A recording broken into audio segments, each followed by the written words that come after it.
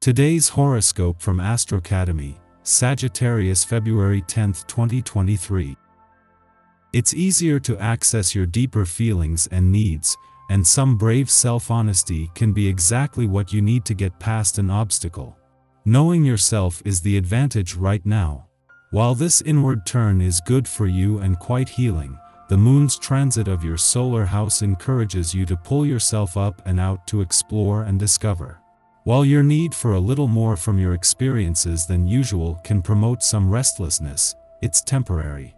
You can enjoy truly interesting ideas and topics today. You're at greater ease expressing both your ideas and feelings now. We are in one of the most important periods of the entire year when it comes to matters of the heart. This is because each zodiac sign rules different energetic frequencies and themes. And right now, the energy of Leo is especially potent in the cosmos. The entire human collective is being infused with Leo's strength.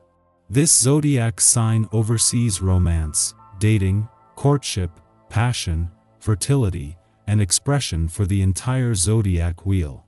Use this wavelength to build your personal and romantic life as you see fit. A full moon's energy lasts for days before and after, so it's ripe for the taking. Be sweet to your coworkers.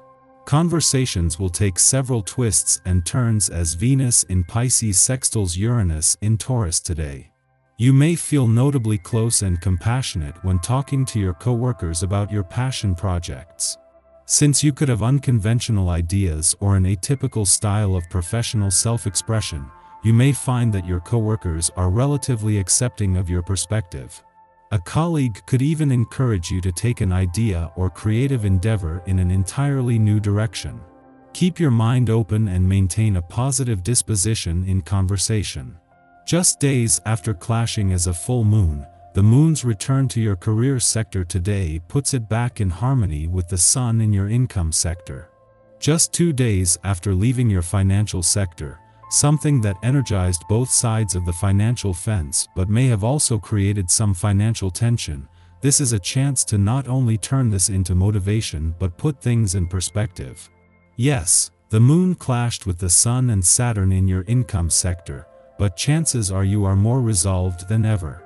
Today's transit will make you feel about 10 years younger this month, and that's without even trying. You can feel at your best if you apply this transit to your workouts and involve it in your weightlifting or cardio work that you once found challenging. The aspect will give you the power of 10 cups of coffee without any of the negative side effects. Oh, try to stay away from caffeine and increase your water intake, too. On a day like today many will appreciate your innovative approach to projects. Due to your avant-garde outlook on life and business, your business associates may look to you to set the pace. They are aware of how your creative nature can advance the way that things get done in the workplace. In any work group environment most people will view you as the natural choice for leader. Let your skills at delivering information and ability to be a strong team player shine.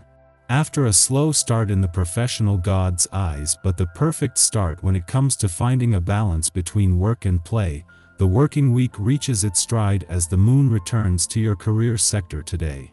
Returning just days after the dwarf planet Ceres retrograde turn here over the weekend, as well as a friendly aspect to Mars in your work sector this will put the sun and moon back in harmony.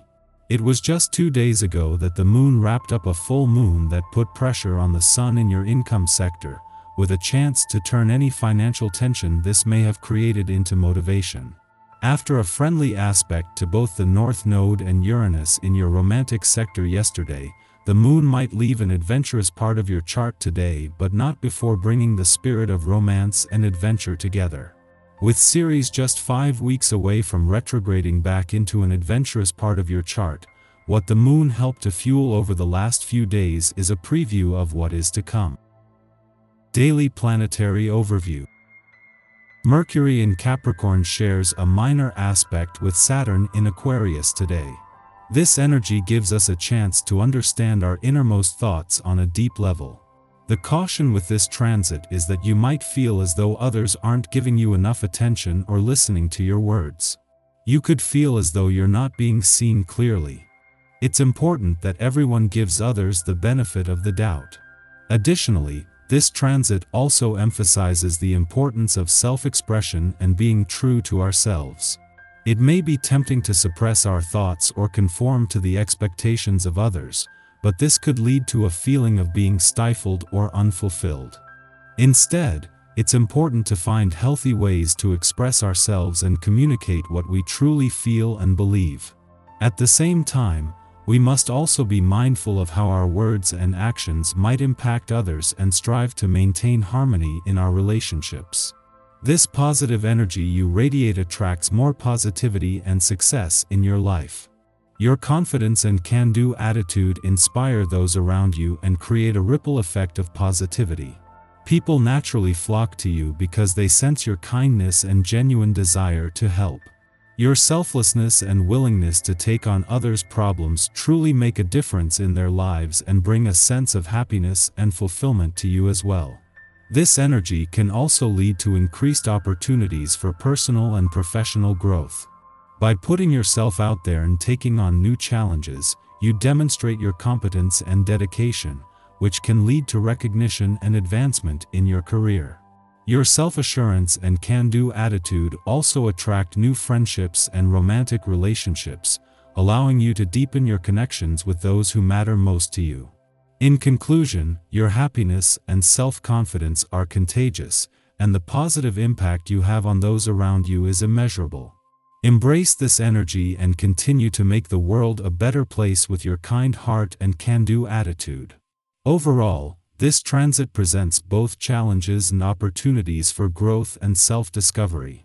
By being mindful of our thoughts and actions, and by approaching communication with patience and empathy, we can navigate this energy with grace and emerge stronger and more connected to both ourselves and those around us. After midnight, Juno aligns with Chiron in Aries, complicating commitments. We are drawn to partnerships that trigger reminders of unresolved wounds. On the one hand, this will make the relationship complicated to navigate, and we don't want to re-traumatize ourselves. On the other hand, we believe it is our duty to preserve the contract. Stay aware that under this weather, it is not our responsibility to stick to one-sided engagements.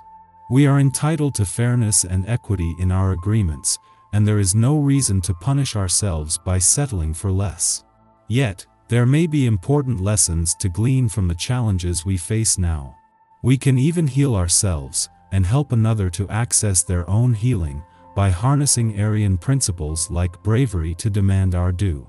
If everyone involved in the contract steps up to the plate, this influence can aid all involved in overcoming past pain. After noon, the moon opposes Neptune in Pisces, zapping our energy. Under the Virgo moon, we achieve emotional equilibrium through organization and structure, yet Neptune's influence provokes distractions that knock us off course. We hit snags in our routines, which cause us to become drained and disillusioned, and then feel guilty about our inability to recover. When we're down, we are vulnerable to those who would exploit the chink in our armor. Instead of stressing out, schedule time to do nothing. Relax. Take a long lunch. Watch an hour of crappy TV. Then, attempt to regain your momentum.